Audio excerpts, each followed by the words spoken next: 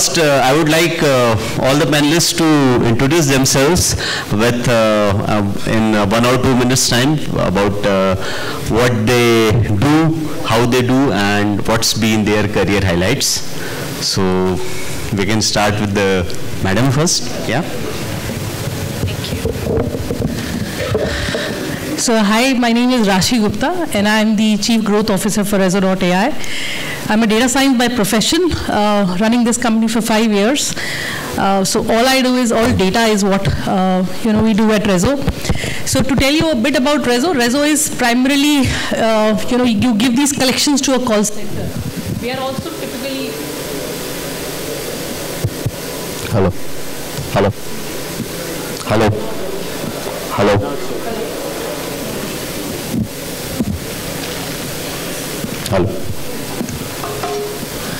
So you can treat us just like a typical contact center. It's just we are not human led.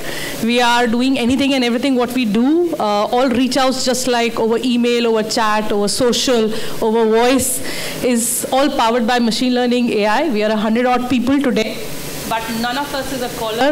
Everybody is just working either on the product or data science or technology. So that's a quick brief about us. Uh, we are majorly working in the automobile sector. Six months back, we ventured in the collection. And, uh, you know, the differentiator for us is our connect rates are massively very, you know, very good. And we are doing some very good recovery for a couple of enterprises that we are working with. Thank you. Thank you so much. Hello. Yeah. Thank you so much for inviting uh, me over here. I think uh, this is a very interesting panel discussion, especially uh, with respect to collections and recovery. And uh, I I've seen a lot of uh, lot of service providers over here, and each one of them are distinct from each other. And I think uh, it would be a pretty interesting evening today to uh, discuss with each of them on what are the service offerings. So myself, Suraj Shetty, I'm from Kisht. I had customer experience for Kisht and Ring. Kisht and Ring both are digital lending platforms. So Kisht uh, services uh, individuals. Provide personal loans and consumer durable loans to retail customers pan India. And Ring is a platform which provides loans to small merchants, merchants, wholesalers and retailers pan India. And we have more than 3 lakh merchants signed up with Ring and we provide loans and credit uh, facility on a daily basis to them digitally. Thank you. Well, hi. Good afternoon to all of you. I am Anuj Anand and uh, I am associated with ECL Finance, which is a lending arm for uh, Financial Services. I've been with Edelweiss Financial Services since last three and a half years now. I head the legal and the recovery piece for uh, uh, ECL Finance. Been an out and out uh, collection guy for uh, over 19 talking about ECL finance, we are basically into both the segments, uh, housing finance as well as uh, the SME lending. Predominantly, we, I am a part of SME uh, lending team and we fund to uh, the upcoming and the established SME of the country and uh, yes, uh, uh, we also happen to fund on the on the secured and the unsecured pieces. Thank you. Yeah, hi, I am Debashish Mohanty. Uh, so uh, I work with Yes Bank uh, as a head of collection strategy and analytics.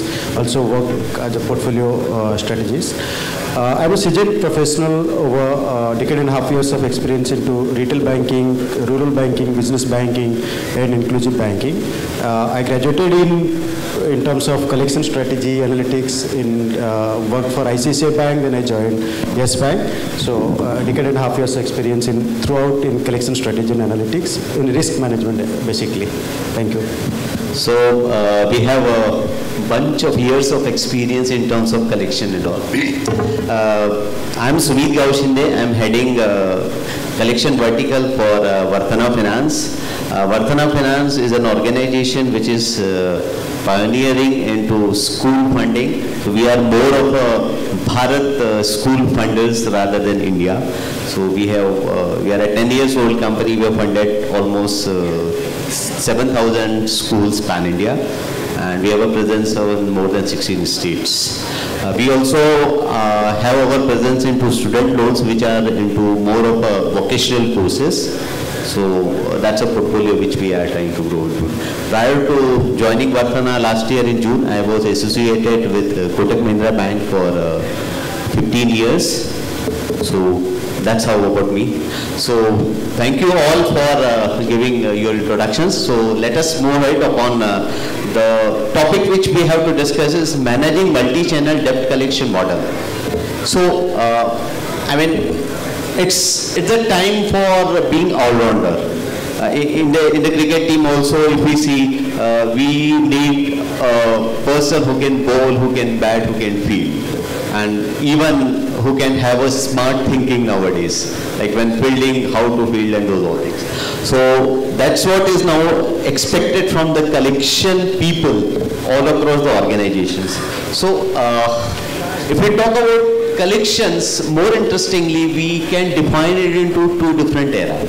One is uh, pre-COVID and another is post-COVID. So uh, my first question to all the panelists would be like, what kind of changes you guys have seen uh, in within your work, work environment? What, are the changes which you have seen? What's uh, the COVID has brought? Definitely a paradigm shift, but yes, how, how I mean how it started and how, how did you guys cope up very very open question, but I would like you to summarize it into two or two and a half minutes because Sure. we have a time constraint. Definitely. So uh, the, I would uh, sum this up into five important points that pre-COVID uh, versus post-COVID. We have seen uh, pre-COVID versus post-COVID uh, regulations have become much tighter, and we are uh, we are very fortunate that we have one of the best regulators, that is the Reserve Bank of India. And uh, given that during COVID, a lot of customers were facing financial issues in making payments, medical issues, etc., uh, there were a lot of unregistered players in the market which had harassed the customers, and due to which a new, a lot of new regulations with respect to collections and digital lending have come up.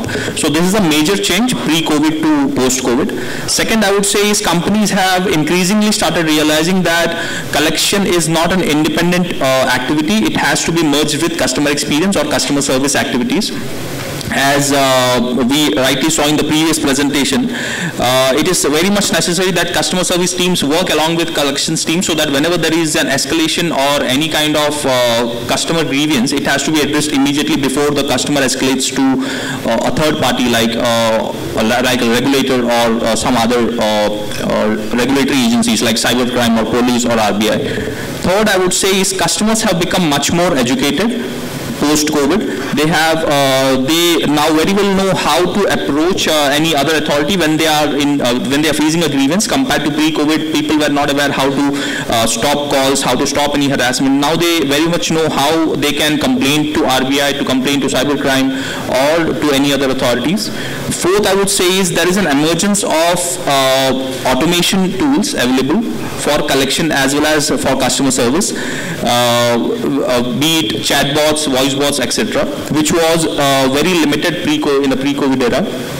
And fifth, I would say, is a lot of analytical service providers have come up in the collections and customer service space, which help uh, which help companies to uh, navigate the, uh, the data that they have right now. So pre-COVID customer uh, companies were a lot of uh, they were clueless as to what should they do with the data. But now uh, they are m- way much smarter uh, with respect to use, usage of data as well as uh, with respect to how and when to communicate to the customer uh, with respect to collection calls. Okay. So in my mind, uh, you know, we started operating in this space only post-COVID. Uh, but I think a lot of businesses came to a, you know, standstill, uh, you know, at the time of COVID. And as a result, digitalization was put on the front burners, right? Uh, all this while it has been sitting at the back burners, you know, where the traditional businesses has been operating the way they were operating. But now, just because of the COVID times, where the call centers, you know, the, the field agents, all of this came to a sudden standstill. Businesses started to realize that unless and until we adopt uh, digitalization, that we will not be, what if it reoccurs or anything of this similar sort reoccurs. So digitalization came to a forefront and, you know, we have been majorly an enabler for recovery in a way, right?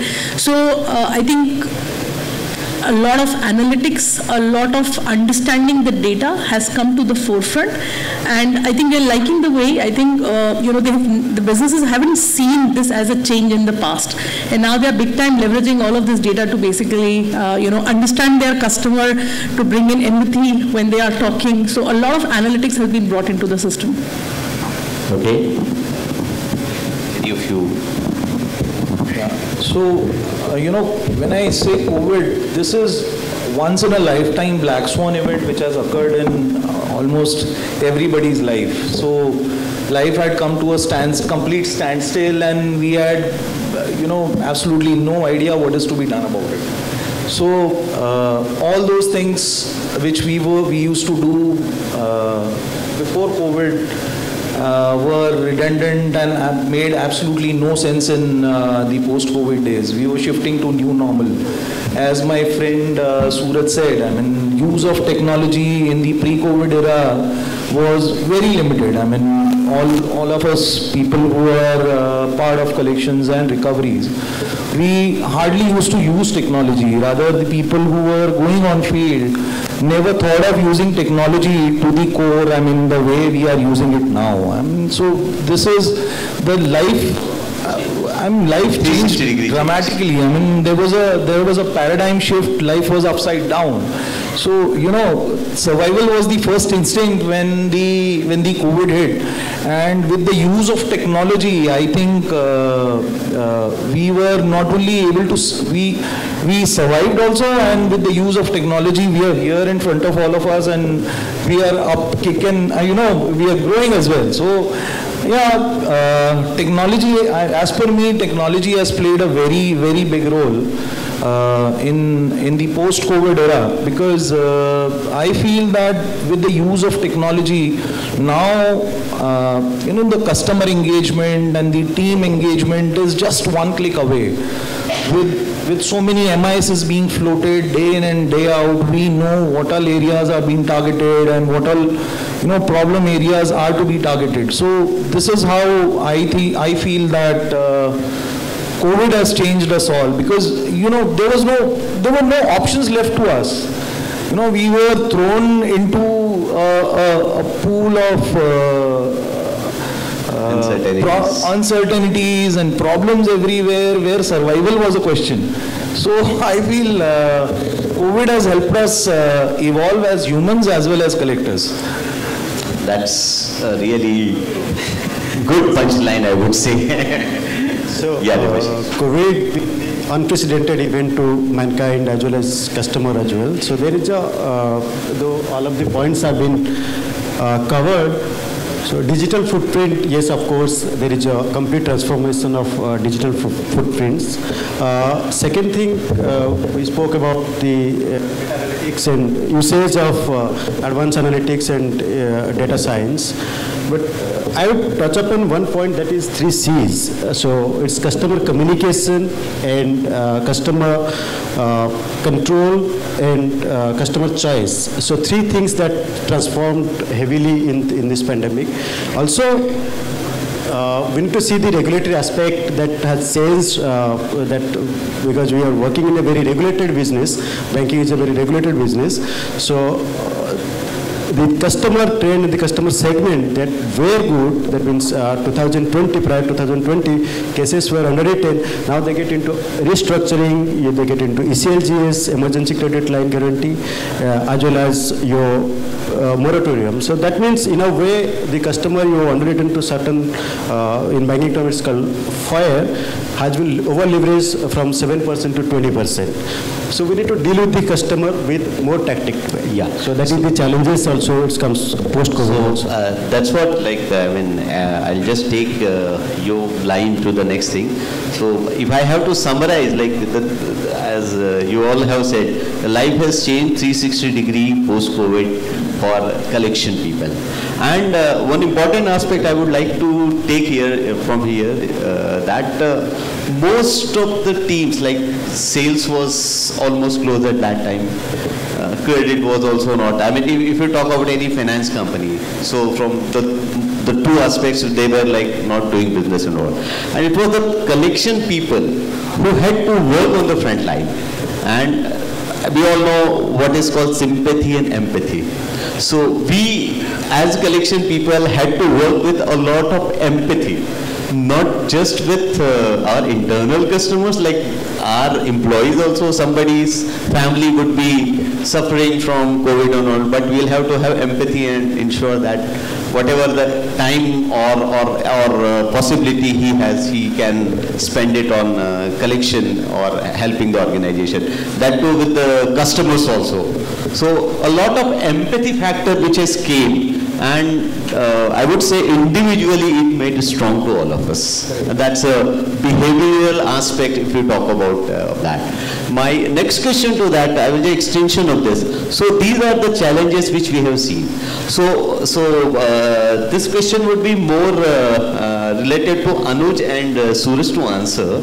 That like the challenges which all have come. So how did you guys uh, came out of these obstacles and how it transformed your business and uh, what kind of results you got, how you analyze and how was the journey? So that, that's what just wanted to understand. So uh, what we did is uh, during COVID we uh, we usually we track customer services very closely. We see what kind of queries customers come uh, keep bringing day in and day out. And what we observed is as soon as the COVID wave started, a lot of customers started calling asking for more time or asking for some relaxation on the some on the late fees charge or on, on option, etc. So uh, when we saw that there is an increase in uh, requests for relaxation on loan payments, so before even before RBI came up with the uh, regulation on providing moratorium to customers, we started offering relaxation to customers. So uh, it was not like a six months or a one year relaxation. We start we analyzed the data that what are customers looking for. We saw that majority of customers in the initial phase of the COVID wave, they were looking for a small relaxation, like oh, I need a 15 days time to make payment, or I need five days time, or I need one month time, not more than that. So we started giving moratorium options to these customers for this small time period that they are looking for, and um, nominal interest was charged to them. And even when in cases where customers was were severely impacted, we even waived off the interest for them. It was an interest-free moratorium for them.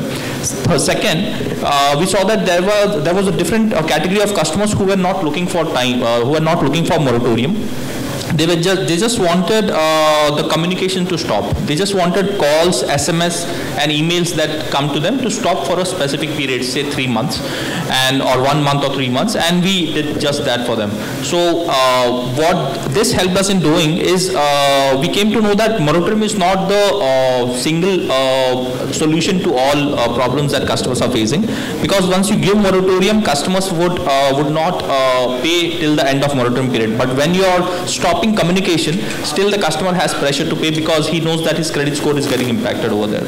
So that was second solution. Third solution that we came out with is uh, there were customers who were not looking for any communication stop nor moratorium. They just wanted a small waiver on the late fees, like a 10%, 20% waiver. So we offered those waivers and prior to COVID, we saw that even for a small waiver, an approval has to be taken.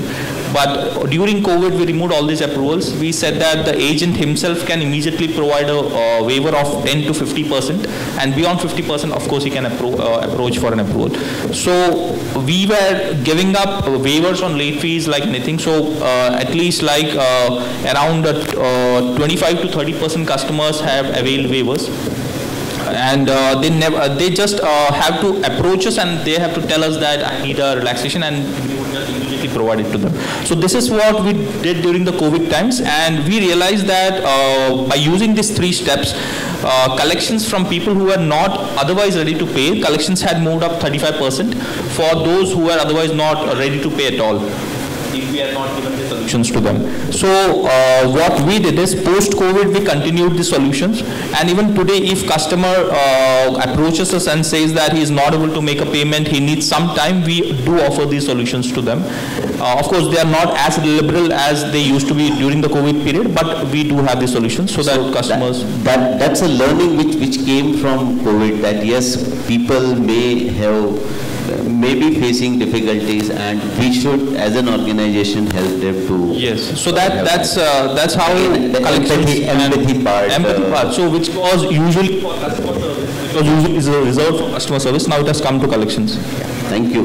Uh, Anuj uh, your thoughts on this Yeah. So, uh, you know, honestly, when when all of this started, uh, I feel the government had uh, played a very pivotal role uh, as far as uh, the repayments of the loans were concerned. Whether it is in, you know, whether it is to individuals, to corporates, or to MSMEs, government had a very, you know, multi-pronged approach towards it. Whether uh, we talk about moratorium, whether we talk about payment holidays, whether we talk about uh, the emergency, uh, you know, credit guarantee line, the ECLGS schemes. So I feel, uh, you know, half of the job uh, was uh, done by the government by giving us a, uh, a clear-cut guidelines on how do we go, how do we take it forward.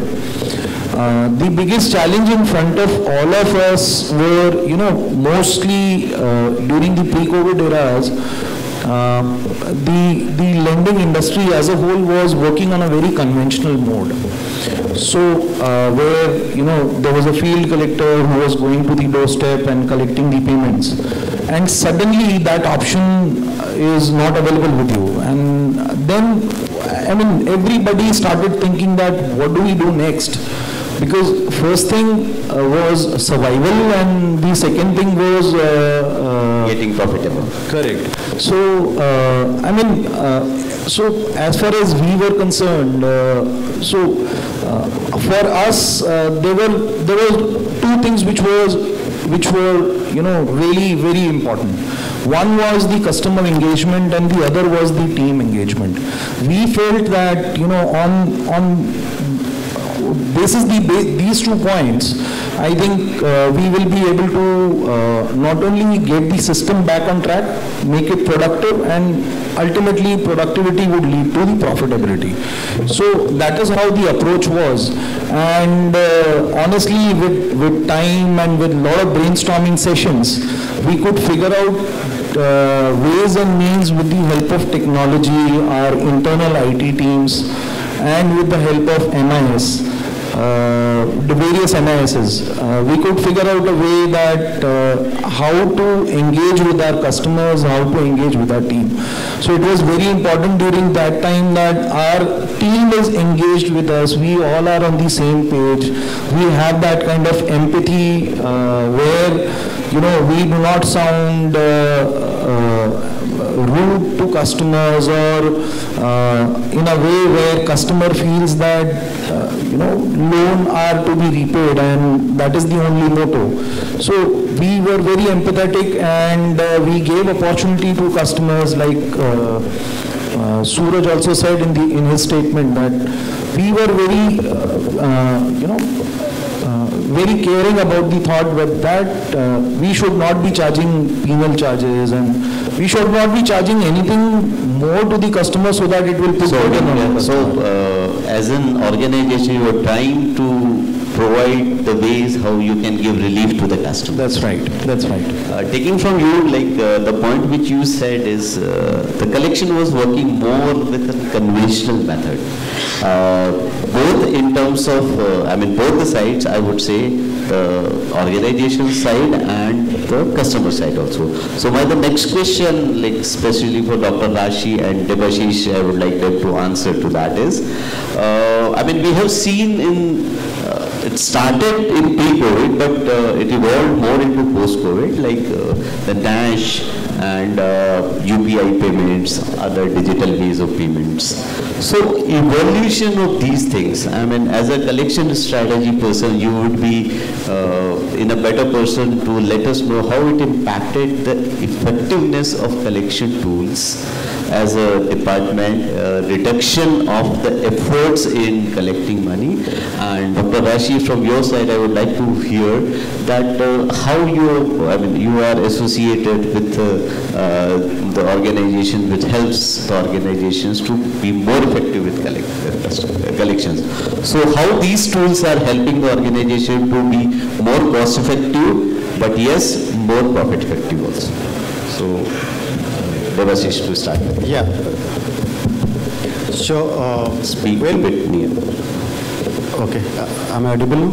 Yeah, so when we speak about, so many, many of us have spoke about digital transformation. So world is moving towards digital transformation and India is answering to them. And uh, if I'll put a stats behind it, uh, so I heard uh, uh, the issue of Investment India uh, day for yesterday.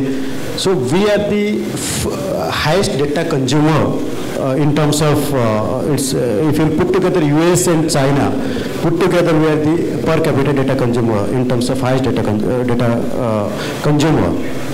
So when uh, we source an account, we source the account to account number, then why we should not take the payment back from account number digitally? So the concept comes here, why somebody should go to a receipt book and take the payment back from the customer, why there is not uh, automation and taking back the money through automated way. So there should be a, there would be a digital uh, end-to-end uh, journey for the customer which uh, starts from the allocation till the payment applications also leading to many data science and analytics to it. So it will make it co-op basis where customer need a assisted mode of payment and customer can pay directly and customer require in-person assistance to pay the uh, pay back the money. Yeah, uh, my question was uh, actually getting more deeper into that is like uh, more of a uh, choice being given to the customer or making it more easy for them. Yeah. Because uh, now the technology enabled uh, helps us to take uh, uh, UPI payment as as easy as possible through like say Google Pay or Paytm or or or, or, or um, any any other mode or uh, ECS or Nashtra is always there and the banks have the advantage of a standing instruction. So, so the conventional method of check, I mean, uh, all of you will agree to that you, your sign will mismatch if you sign a check now. Yeah, so true. it, it is with, with most of the people. So now we are into a different world where, where we have to get into a different uh, digital sign or something like that. So that's where uh, the, the role of uh, the organizations which where from Dr. Rashi comes. So uh, how how you help the organizations to cope up with that with. And uh, one more thing is another aspect I wanted to add here is that collection teams are not considered as very tech savvy. Because we are we as a uh, fraternity are learning to use technology recently we are the latecomers in that. So you will have to consider that aspect also that people on the ground will not be so familiar with the technology. So uh, having that kind of user interface, easiness with them, uh, and uh, yes, effectiveness also. So that's the challenge I throw to you. Sure. So to be honest, I think uh, you know you, you guys know your customer extremely well. You know you know the strategies which are At least we pretend to. So yeah, but the truth is that you know your customer base very well. You know the strategies that will work with them very well. And the idea is when we come in, we come in as a powerhouse of data, right? We are not saying that we know everything, but we work with you. We leverage the models, we leverage the data to be able to bring about uh, something which is more creative. And we do a lot of tremendous sort of calling is what is uh, majorly what Rezo is into. So you can give me a base of like a 1 lakh or 10 lakh, whatever it is, and you say this is my lost customer, this is my bucket one customer, an easy lot like a, like a reminder sort of a calling. Now when you're calling up the customer, right, uh, this empathy is very, very critical, right?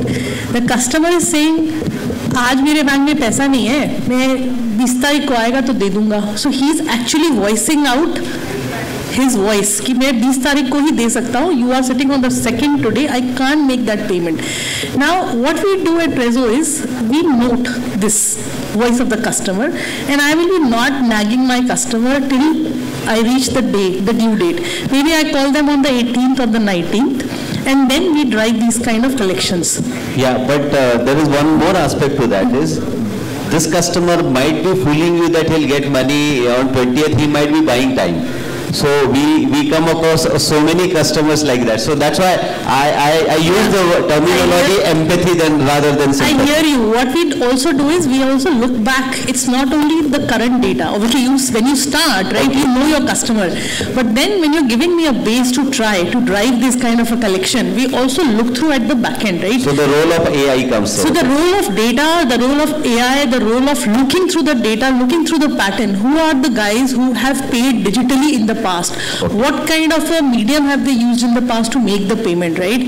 Uh, what date tentatively he makes the payment? Uh, you know, how many people are, he's getting the check in his, his salary is getting credited on this date. So we leverage a lot of that science to be able to drive that. And then there is the power of the voice of the customer. He's actually on the bots telling you that this is my problem, मेरे bank में पैसा है आप auto debit कर लो even if he doesn't have that auto debit capability, but he's giving it out to you. So you can, once you hear that, you can actually enroll him for an auto debit.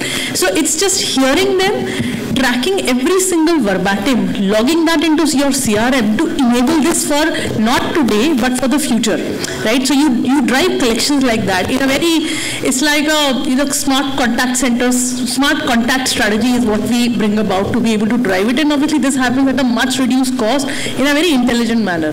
Yeah. So uh, actually, I am uh, very fortunate moderator where all my panel members are giving me clues for the next question. As you said about contact center. So my next question to both of you gentlemen is that uh, uh, when we talk about contact center, so it, it's it, it's related with the communication with the customer. So so in the new era, there are uh, the methods which have changed from communicating with the customers. The way we used to approach differently now, uh, a lot of uh, AI enabled or technology, bot calling, and those all things comes into place. So uh, how did you guys, your organizations, have managed uh, the shift of uh, uh, a manual kind of thing to the technological thing and how it helped positively, negatively, neutrally towards the achieving the motto. So uh, when it comes to connect, uh, communication, what we have, uh, not just uh, now, uh, it was present even pre-COVID. What we do is uh, we communicate customers in the language. First of all, the language is very important when it comes to communication. So we communicate to customers in the language that they understand.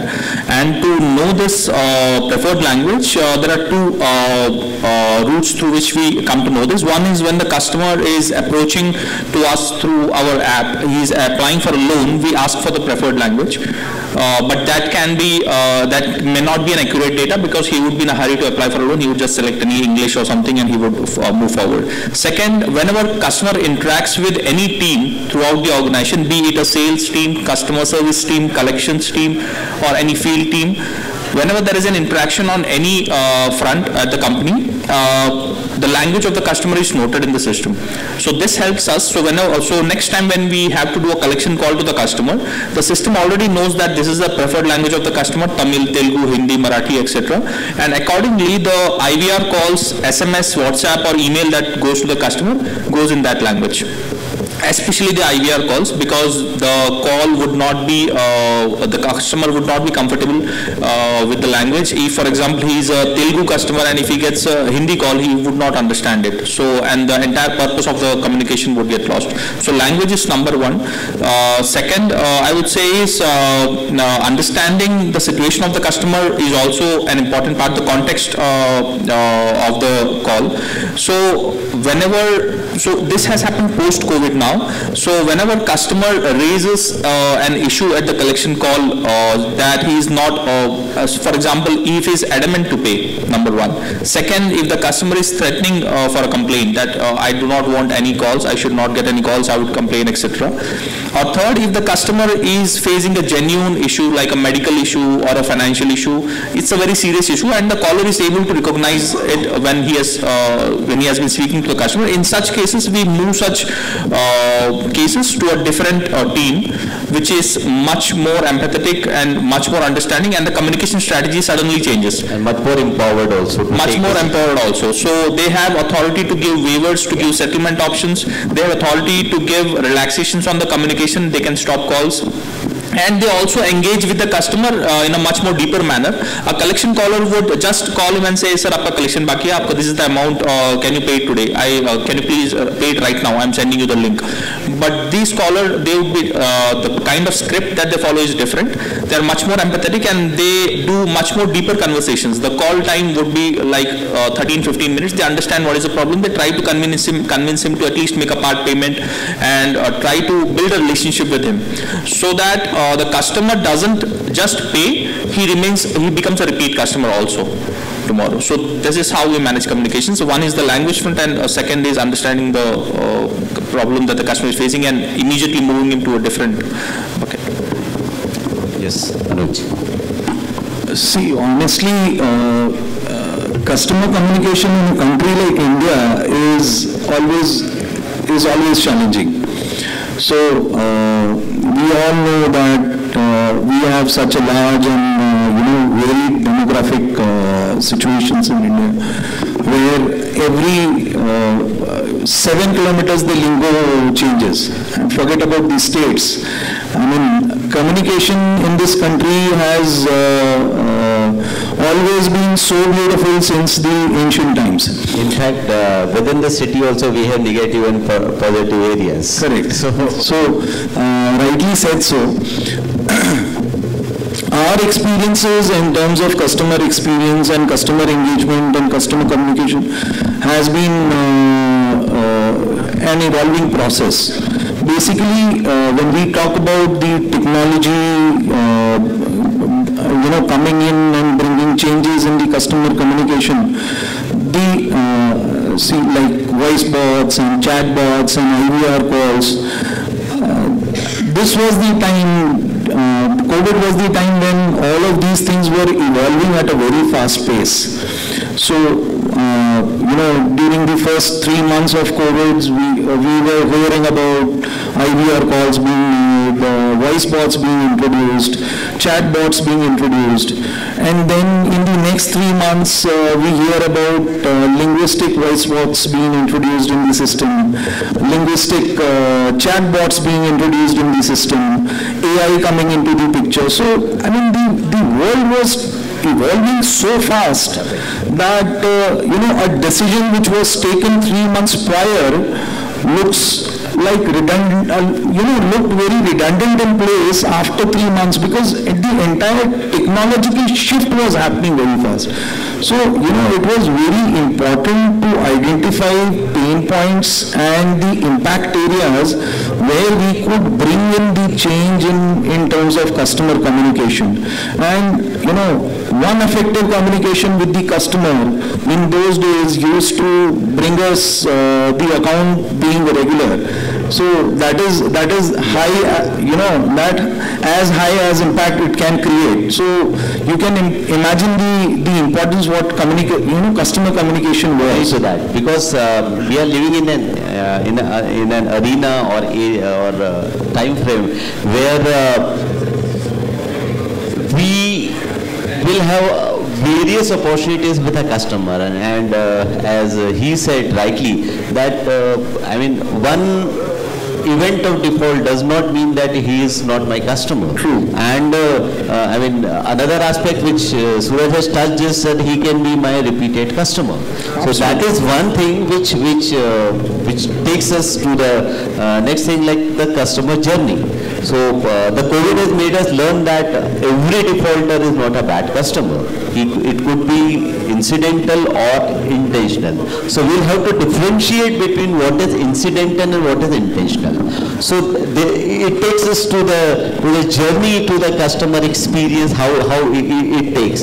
So I would uh, like to uh, take Mr. Mohanty also into that. And how, how do we take ahead that journey of customers uh, who are incidental defaulters? I would, we, we can categorize in, intentional into a different thing. But we had seen in COVID a lot of incidental defaulters.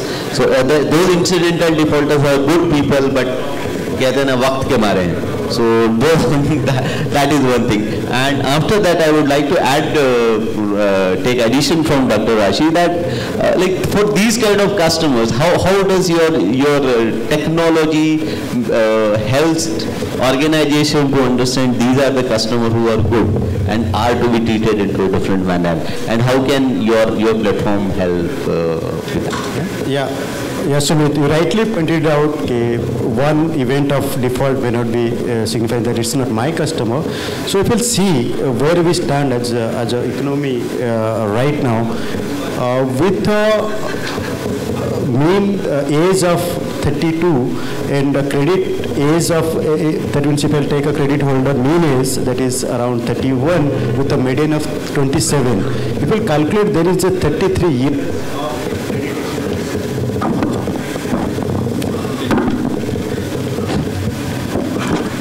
So uh, here you can calculate the 33 years of credit. And so that means the life cycle has to go another 33 years. So uh, that means abandoning anyone for uh, at, the, at the first place may not help for the lenders. So at the same time, you need to identify the right customer. So who is my right customer? Every customer is not good, every customer is not bad. So identifying when it comes to a collection play or when it comes to a collection base, then you need to identify good customer out of the bad customer and the bad customer out of the good customer. So in in analytical language it's called as a confusion matrix. so uh, true positive and true negative, when we, uh, when we source an account with the intention that this customer will turn good and will repay me back with the certain committed IRR that I have given. So uh, I have planned for some uh, interest rate that I will earn, but somehow there is uh, there is a deviation in your thought, that means your underwriting, that means something you planned it as good, turned into bad. When it also comes to collection, then it's already bad. So you need to identify what is good out of the bad. So uh, uh, that means you need to identify with a very good scorecard model. So that means uh, recently many of the scorecards have evolved where they identifies which are the good customer out of the bad customer. Even if it is a customer who is coming to the stress first time, is there any incipient risk behind it? Because many of EWS models that can show you whether the incipient uh, risk is involved to the customer or this is the customer because of uh, this is just a distraction and this problem. And second thing, the right channel. Where you are communicating with the customer, whether you are communicating with the customer through a right channel, communicating through a uh, level precision the customer is the key in, term, in terms of it, it, it, gives you a larger customer experience in, in my opinion. Totally agree to that. Dr. Rashi, uh, uh, you need to take us ahead. Like good customers, bad customers, all are our customers, and we are here to earn from them. How? yeah. So, uh, how do you guys can help? how do you guys, I mean, the technology piece can help us to earn from both the customers?